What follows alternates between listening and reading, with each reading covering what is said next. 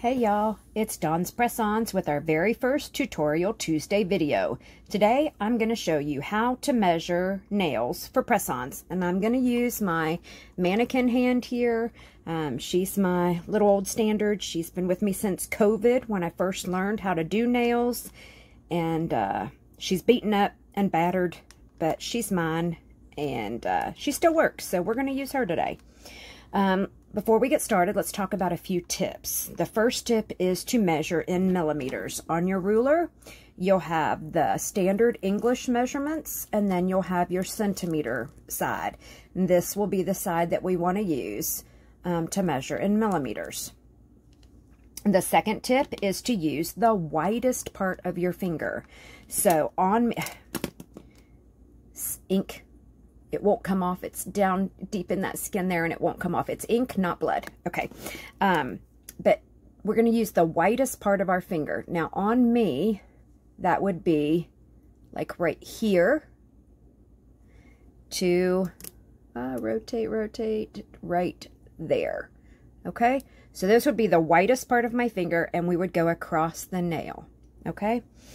Um, the third tip is to be very accurate the more accurate you are um, in measuring, the closer we can get to finding you the right size nail to fit your finger and the less adjustments you'll have to make when you get your nails, okay?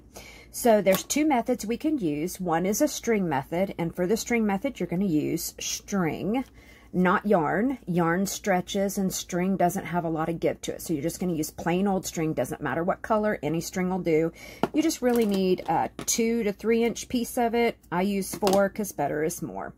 Um, and then you'll need tape um, and you want to use like scotch tape or gift tape, not uh, washi tape or anything that stretches. You want, again, this needs to be uh, non-giving. So we want to use tape you need a marking utensil that has a point on it, not like a, a Sharpie or something like that, or a marker. You want to use something that's got a, a nice tip on it for a fine point. And um, maybe some scissors and a piece of paper. All right, so for the string method, we're going to take that string, and I think this is a little hard to do on yourself. It's easier if somebody's doing this for you, but on yourself, I find this a little hard. All right, let's see. Can we see this guy? Huh. Let me try to adjust her real quick. Let me push her back. Go back. All right, are we better? Are we more in the center here?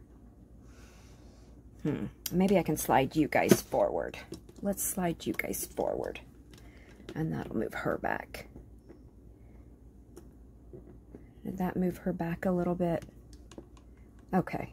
She's back a little farther. Okay, so we're going to take our string and wrap it across the whitest part of the nail, nice and tight. And then make a, let me see if I can rotate her.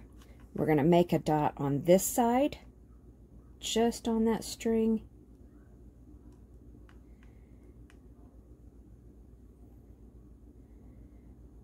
Come on, mark the string. There we go. And then on the other side, just mark that string.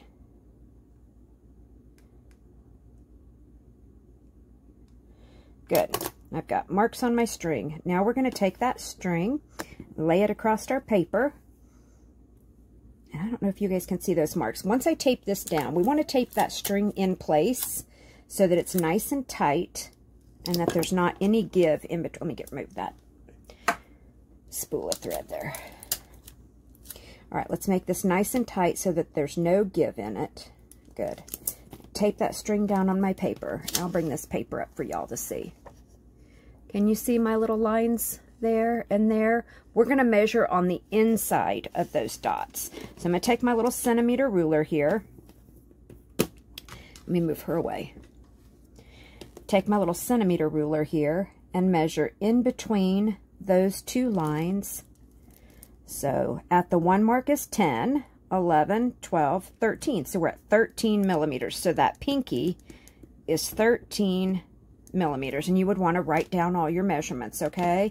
You'll have your pinky, your ring finger, your middle finger, your index, and your thumb. And that would be for your right hand. And then you would do the same for the left hand. You would have your pinky, ring, middle, index, and thumb. And you would have all these listed in millimeters. Okay? And once you have your measurements, you would enter them into the computer in the order section, and then we would translate those into sizes. All right, so let's talk about the other method real quick. The other method I find easier if you're working on yourself. Again, let's use this little pinky nail here. So we're going to take a piece of tape, and you want to take the edge of the tape and put it on the whitest part on the nail. So we're going to put that right across the nail like that, nice and tight so that there's no wrinkles in it. And then we're going to make a dot on this side.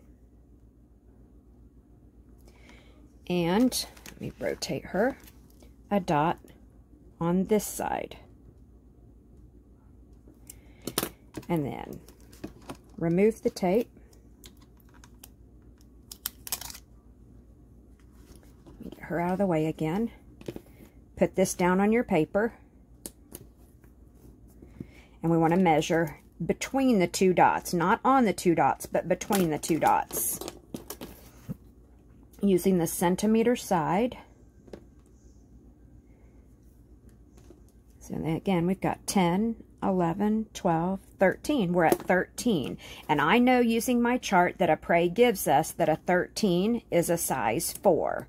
So all the nails have a number impressed in them. Now you guys can't see these numbers. I've tried to show it, but they don't show up no matter what I do. So anyway, there's a 4 on here. And if I had this nail prepped accurately so that the cuticle was gone. This is way too long. It needs to be much, much shorter. These uh, little tips that they give you are, are they're just not really useful for much. Um, but for purposes of measuring, it would go on right like that. And that would be the nail that would fit this finger. So you would, again, input all that in the order information input your millimeter measurements into the order, and we would translate that into the size and know exactly what nails to send you. All right? Well, thank y'all very much for joining us today.